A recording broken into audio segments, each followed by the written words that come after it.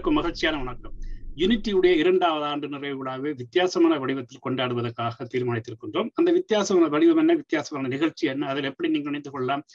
எப்படி உங்களுடைய பங்களிப்பு இருக்க போகின்றேன் என்பதை குறித்தான் வந்திருக்கின்றேன். வித்தியாசமான நிகழ்ச்சி என்னவென்றால் இலங்கையில் உள்ள சங்கீத பூஷணம் சங்கீத வித்வான்கள் பரதநாட்டிய ஆசிரியர்கள் ஆசிரியர்களுடைய வரலாறு அவர்களை கௌரவப்படுத்துவதற்கான ஒரு நிகழ்ச்சி. எப்படி அத்தனை பேரையும் கௌரவப்படுத்த முடியும் என்ற ஒரு கேள்வி வரும் பொழுது அதற்கான விளக்கம் தான் சொல்ல வந்திருக்கின்றேன். இப்படி என்றால் ஒவ்வொருத்தரும் ஒவ்வொருத்தரை பற்றி பேசலாம். உதாரணமாக வீரமணியர் எடுத்துக்கொண்ட வீரமணியரை பற்றி அவருடைய வரலாறு எங்கு பிறந்தார் எங்கு படித்தார் அவருடைய குரு யார் அவருடைய சாதனைகள் என்ன அவர் என்னென்ன துறைகளில் சாதனை செய்திருக்கின்றார் அவருக்கு கிடைக்கப்பட்ட பட்டங்கள் என்ன இவர்கள் எல்லாம் சொல்லி அவருக்காக ஒரு பாடலை நீங்க அர்ப்பணம் செய்யலாம். அதாவது ஒரு பாடலை டெடிகேட் பண்ணுகிறேன் சொல்லிவிட்டு ஒரு கரல சங்கீத பாடல் பாடலாம். ஆனால் அவரை பற்றி பேசுவது நாலு நிமிடத்துக்கு மேலாக இருக்க வேண்டும். நாலு நிமிடத்துக்கு குறையக்கூடாது. முழுவதுமாக அவருடைய வரலாறு சொல்ல வேண்டும். அதன் பின்பு இவருக்காக இந்த பாடலை நான் சமர்ப்பிக்கிறேன் என்று சொல்லி ஒரு சங்கீத பாடல் பாடலாம். யார் யார் பங்கு பெற்றலாம் என்று வந்தால் யார் என்று எந்த ஒரு வரையறும் இல்லை. குழந்தைகளும் பங்கு பெற்றலாம் பெற்றோர்களும் பங்கு பெற்றலாம். பெற்றோர்கள் தமது பாடசாலையில் தமக்கு இசை கற்பித்த ஆசிரியரையும் நடனம் கற்பித்த ஆசிரியரையும் இல்லை என்றால் தமது ஊரில் உள்ள தம் தாம் தாம் வாழ்ந்த காலங்களில் இளவயதில் இருந்த காலங்களில் தாம் பார்த்த இசை ஆசிரியர் நடன ஆசிரியர்களை பற்றி பேசி அவர்களை கௌரவப்படுத்தலாம் அவர்களுக்கு நன்றி தெரிவிப்பதாக அமைந்து கொள்ளலாம். நீங்கள் அவருக்காக அர்ப்பணம் செய்யும் பாடல் சங்கீத பாடலாக கல்லா சங்கீத பாடலாக மட்டும் இருக்க வேண்டும். திரை இசை பாடல் ஏற்றுக்கொள்ளப்பட மாட்டார். அப்படி அப்படி திரை இசை பாடலாக இருந்தால் மிகுந்த ஒரு கன்னட சங்கீத அடிப்படையில் இருந்த ஒரு சங்கீத பாடலாக இருக்க வேண்டும். அந்த பாடல் என்ன என்பதை எனக்கு அறிவித்து நாம் ஒத்துக்கொண்டால் மட்டுமே அந்த பாடலை பாட வேண்டும். கேட்டிருந்தார்கள் ஏன் வாத்தியக்காரர்களை இணைக்கவில்லை? என்று. வாத்தியக்காரர்களை இணைக்கக்கூடாது என்பது எமது எண்ணம் அல்ல. வாத்தியக்காரர்களை நாம் இன்னொரு நிகழ்ச்சியில் அது இது முடிந்ததன் வேறு வேறொரு நிகழ்ச்சியில் வாத்தியக்காரர்கள் மட்டும் என்று சொல்லி அங்கிருக்கும் அத்தனை வாத்தியக்காரர்களை இணைத்துக் கொள்வோம். இப்பொழுது கன்னட சங்கீத சங்கீத பூஷணங்களும் சங்கீத வித்வான்களும் பரதநாட்டிய ஆசிரியர் ஆசிரியர்களிடம் மட்டும் இப்பொழுது கொண்டு வந்திருக்கின்றோம். ஆம் இது நீங்கள் உங்கள் வீட்டில் நீங்கள் ஒளிப்ப ஒளி ஒளிப்பதிவு செய்து நமக்கு வீடியோ அனுப்ப வேண்டும். அனுப்பும் பொழுது அவர்கள் தொடர்பான உங்களுக்கு ஏதாவது இணைத்துக் கொள்ள முடிந்தால் வீடியோ இணைத்துக் கொள்ள முடிந்தால் வீடியோ எடிட் பண்ண கஷ்டமா இருந்தால் அனுப்பிவிட்டால் நானே அதை எடிட் பண்ணி கொள்கிறேன். அவர்கள் தொடர்பான வீடியோ அதாவது தொடர்பான போட்டோஸ் இமேஜஸ் இருந்தால் அனுப்பிவிடுங்கள் நான் இணைத்துக் கொள்கிறேன். ஆனால் கட்டாயம் அவர்கள் பற்றிய ஒரு போட்டோவாவது இருந்தால்தான் நல்லது. ஏனென்றால் அதை காட்டும் பொழுது அவர்களுக்கும் ஒரு மகிழ்வாக இருக்கும். அவர்கள் தொடர்பானவர்களுக்கும் அவர்கள் மாணவர்களுக்கும் அவர்கள் உறவினர்களுக்கும் மகிழ்வாக இருக்கும். நீங்கள் தெரிவு செய்வது யாரா இருக்க வேண்டும் என்ற கேள்வி. நீங்க தெரிவு செய்பவர்கள் வந்து எம்மை விட்டு பிரிந்தவர்களா இருக்கலாம். இல்லை மூத்த கலைஞராக இருக்கலாம். இல்லைன்னா இப்பொழுது தற்பொழுது இங்கிருந்து நமக்கு இசை தந்து கொண்டு இசை பயிற்றுவித்துக் கொண்டிருக்கும் உங்களுடைய தற்கால குருவாக கூட இருக்கலாம்.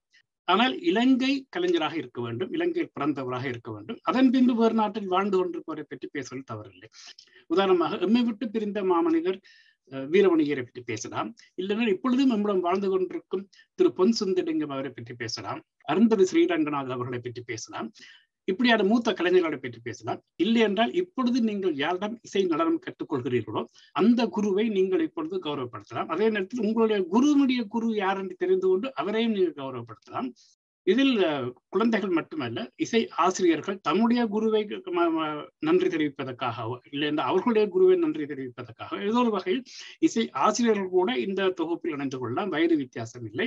எம்முடைய நோக்கம் இலங்கையில் இருந்த இருக்கின்ற இப்பொழுது வெளிநாடுகள் வந்து கொண்டிருக்கும் இலங்கை சங்கீத வித்வான்களையும் பரதநாட்டிய ஆசிரியர் ஆசிரியர்களையும் கௌரவப்படுத்துவதுதான் இதன் நோக்கம். யார் மூலமாக வெளிவந்தாலும் மகிழ்வாக ஏற்றுக்கொள்வோம்.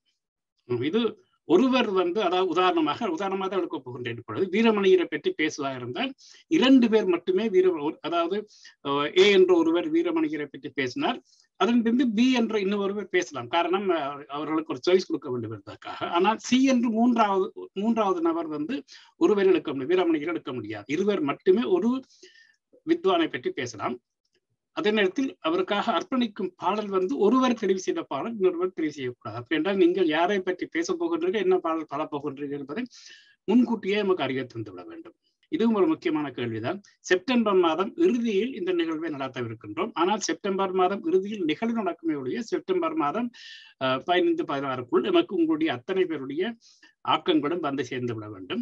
வந்தால்தான் அதன் பின்பு நாம் அதற்கான ஏற்பாடுகள் செய்வதற்காக வசதியாக இருக்கும். எனவே நீங்கள் வீட்டில் ஒலி ஒளிப்பதை செய்து அனுப்பும் வீடியோக்களை நாம் தொகுத்து செப்டம்பர் மாதம் இறுதியில் நாம் அதை நேரடியாக நேரலையில் யூடியூப்பில் காண்பிப்போம். அந்த அந்த நாள் அந்த அந்த திகதி எப்போது என்பதை பின்பு அறியத்திருக்கின்றோம் நிச்சயமா இது தொடர்பாக உங்களுக்கு எந்த சந்தேகம் எப்பொழுது இருந்தாலும் என்னுடைய இலக்கத்தை தொடர்பு கொள்ள என்னுடைய இலக்கம் முன்னுக்கு பார்க்கக்கூடியதாக இருக்கிறது.